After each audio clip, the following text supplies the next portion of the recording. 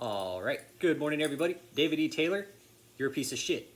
And without ado, I'm going to go ahead and get started. Just what I'm going to talk about is are we witnessing, are we seeing the next Jim Jones type cult unfolding right here in our own backyard? Why I say this, um, I watched a really good documentary yesterday on Hulu, and it was about Jim Jones.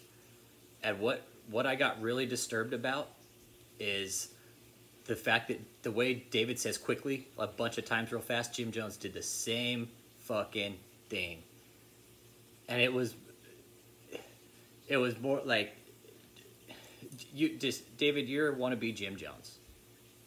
You know, and after talking to a lot of you know, I hate to say it, but it's like what at what point do is is this gonna turn into a suicide like Jim Jones did in Guyana? You know, he's on. He's got this 11 acre ranch, secluded. Um, you know, riding jet skis, ATVs, and shit like that all around your property. I told you, David, I'm being fed information from the inside, man. I told you, you can't, you can't lie to me, dude. And I, I just got more information too, but I can't put it out yet because I'm protecting my sources. So, I know, I know more than you think. I know more about that match than you think, David. I know more about the old match than you think. Um, and this is going to stop, David. More and more people are still coming forward. Um, and once once I'm given the green light to release this information, it's going to blow everybody's mind. It really is. Um, but again, I can't. I was given explicit inform, you know, explicit instructions not to, and I get it. I get it, for sure, no doubt. Then this information, it, it, it about made me fucking throw up, really. That's, you're, David, you're a fucking piece of scum, dude. This, what I found out about this yesterday is just, makes me wonder, like, how nobody's caught on to your fucking scam. So more people report him. Report him to the IRS, report him to the government, report him however you can because this guy is running a full-blown scam. We know that. The other thing I wanted to talk about is the bank records. Again, you guys claim there's no fucking bank records in this whole case. That's bullshit. You're lying. There's bank records. If you say there's no bank records when you have a bank account, like you're and the whole thing is is through the court case, that's what they're after is the bank records. But you guys, because you're claiming to be a church, but you guys haven't filed your taxes, man since 2017. you you've been flying under the radar for the last four years, untaxed, unchecked. But it's okay. I know more information than you guys do, David. Trust me. I'm being fed information from from the inside, David, from inside your cult, dude. And you think I'm lying. I have no reason to lie. I have no reason to lie in this. I have I get no monetary gain out of this. I'm actually anyways. Um, Marley's being a little impatient with me right now. He doesn't like to do videos. Um, I was talking to Colt Watch about him, and I'll give a quick background on Marley. Marley is, he's probably about 14 years old, 13, 14, 15, I think. When I found him, he was probably about, I don't know, three or four. He was wandering uh, my old apartment complex where I live. And um, he followed me home one day, and I kind of shunned him because I wasn't, you know, I, I guess I just wasn't ready for a dog. Um, but he's he stayed on my doorstep, and that's you know that's how he came to be. That's how he's my dog. Um, he he's fucking awesome. He's he's a total lover. He has nothing but love to give, and that's all he wants to do is give. And just this is this is him most of the day. If I let him sit in my lap all day and just do this, he would. He don't care and he's got a tennis ball right there too. He loves tennis. He loves play tennis ball. Um, but he's getting a little old on me. Um, I did find out a few years back that he has a small heart murmur. Um, and the way I see it, I'm not going to put him on any medication. He's lived a pretty badass life. He's got a badass life still, you know. And uh, from what my doc told me, you know, Chihuahuas live up to 20 years sometimes, man. So if you're thinking about getting a Chihuahua, you got a doc for 20 years, okay? And he's probably about 14 or 15, maybe 16. I don't know. Like I said, when I found him, he was probably about three or four. and I've had him for about nine or ten years. You know, so had him for quite a while. Um, he's he's fucking awesome. He really is. He loves playing ball. Mark, where's your ball? Give me, give me that. Give, bring it here. Give- That's mine. Come here. Bring it here. Come here. Come here. Um, almost lost him a couple times. One time he ate chocolate, almost killed him, and uh, one year he got he got hit by a pit bull and uh, almost killed him. Got had him by the back of the neck. They had the dog had a kill shot on him. Definitely, he the dog. I if I wouldn't have been there, Marley would have been killed. Um, but he's totally fine now, like it never happened. Uh, come here, come here. This is his favorite thing right here. Come here, come here. So, tennis ball, Marley, come here, come here, come here. So yeah, I figured I'd just let everybody know about him too. My other dog is Marilyn. She's in her kennel right now. She's kind of a, I don't know. She's kind of a loner. Not even a loner. She just she's likes to do what she wants to do. Um, back to David. Um, David, this is gonna end. It's gonna end. We're gonna stop you. This group is bigger than. This group is not gonna fall apart because there's too many connected. There's too many connecting parts to it.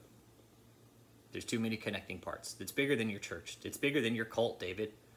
This group is bigger than your cult. Trust me. I'm, I have people call getting in touch with me from Africa, David, South Africa, asking me, "How can we help?" I have people all over the world asking, "How can we help?" The world knows of you, David. The world is very well aware of you, and um, the world, the world has judged you for the most part. See, look at Marley. This is him with his tennis ball. He says, "Hey, that's my tennis ball. That's mine. Whose tennis ball is this? Just get right there. Fine. Loves tennis ball. Huh?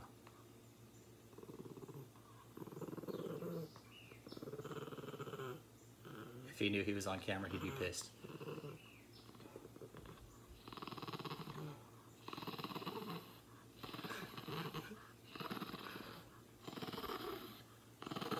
Um, what I was talking to Colt Watch about, we were talking dogs yesterday, and uh, we're firm believers that in, in order for you to have a dog, you have to be deserving of a dog's love. We really do, because a dog is nothing but unconditional love. They will show you but nothing unconditional love if you treat them right. They don't care whether you're black, white, brown. They don't give a fuck what color your skin is, what color your blood is, what your fucking face looks like. That's something you don't know about David is unconditional love. Your your your love consists of scamming people and just manipulating people to your benefit. That's how you show them love. The the the documentary I was watching yesterday about Jim Jones sums it all up. All these people are in an abusive relationship with David. And each each person is a different aspect of the abusive relationship. That's that sums up David's relationship with these people. Michelle, you're you're the one that's probably been the most abused, no doubt. You've been the most abused in the relationship.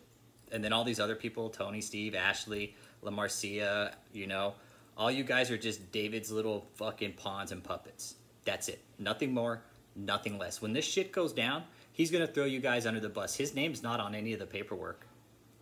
Ashley is, you know, Michelle, Joseph, Tony, LaMarcia. You know, you guys are on the paperwork, not David. Not David. You know, I guarantee his ass ain't on that new that new house. You know why? Because he's gonna distance himself as far away from the crime as possible. You think he's gonna want to have his name on a fucking, you know, 1.5 million dollar mansion when he's fighting a legal battle? Probably not. That's that. Again, that's you'll never. I won't even get into that. It's just uh, it's way far fetched. It's just basically it's it's just the nature of the beast. It really is. You won't see his name on any documents. Not even the bank accounts, but he has access to all the bank accounts, no doubt, for sure. You know, And for you guys to say there's not bank accounts, you're full of shit. There, there's no bank account. You know, there's no bank account records, and that there's only like these fucking screenshots of your bank accounts or of your self-serving fucking documents. It's all it's all a lie. Um, see how content Marley is with the ball. Last ball. Um, my dog's smarter than you guys. I mean, this is gonna end, David. Sorry, kind of for rant today, guys. It's just I wanted to kind of talk about that Jim Jones thing I saw yesterday, and everything that I saw in that is exactly the same thing David's doing. Now he's got this big sprawling acreage, and it wouldn't surprise me if you're gonna try and do your miracle arena, your 20 million outdoor arena. You know, I could see you trying to pull that shit, but you know what? The people in that area are not gonna fucking fly with that shit, David. You think that they're gonna honestly let you set up some fucking ridiculous stage out in your property like that? And try to fucking heal all these people in an outdoor arena. Not happening, dude. Your stage is a fucking total joke. The monstrosity of it is just pathetic, you know, and that's again, you're building this big stage because you have a little dick. And that's that's what I've been told. I eyewitness account, you know, eyewitness account that you're pathetic and like you're So it makes sense why you have to have that big stage built. Like you want everybody to think you're something you're really not, which is a prophet, you know, and that's the only way that you can try to get your point across is by having this big stage built. But you're not, David. Not if I have anything to do with it. The world already knows about you. And what's when everything else comes to light, David, you know, it's over for you, dude. So keep enjoying the freedom. You know, keep enjoying the ATVs, the jet skis, you know, all that stuff. Keep enjoying that stuff, okay? Keep enjoying that lavish lifestyle. Keep leeching off the system because the more you leech off the system, the better it is for the long run for you. You know, it's going to put you in jail longer because you are committing fraud on fucking so many levels, dude. We know it. We know it. So, you guys have a safe week. Um, any questions, comments, concerns, you guys leave them below uh, you know, this is going to stop, David. It's coming to an end real soon. So just just enjoy enjoy everything while you can, okay? Because I'm watching you, dude. I'm watching you real close. So, anything else, comments, concerns, guys, leave them below. Thank you for the subscribers, you guys. Um, you guys, I, I quest, I was questioning our Facebook moderator. I wasn't questioning him, but I was talking to him this morning, and I was questioning my methods are they right? Are they moral? I, I, I was questioning, you know, just just the overall, I guess my overall approach to everything. You know, was I going about it? Am I going about it the right way? Um, even though sometimes I am being given misinformation from people who don't want me to find out stuff, you know, am I going about, you know, exposing this asshole the right way? Is there another way to do it? No, I don't think so. Um, I like to hear from you guys, definitely. You know, if you guys think I'm pushing the bounds a little bit, by all means, let me know. I'm all ears. I love to hear con constructive criticism, feedback, everything that works, you guys. Uh, because sometimes I question, I question my own, my own actions in this. So, you guys, if think any otherwise, let me know, please. I'm open to constructive criticism. Um, if you guys want to see me address hear me address certain things, let me know. Put them in the comments. I'll, I'm here for you guys. I'm here to expose David.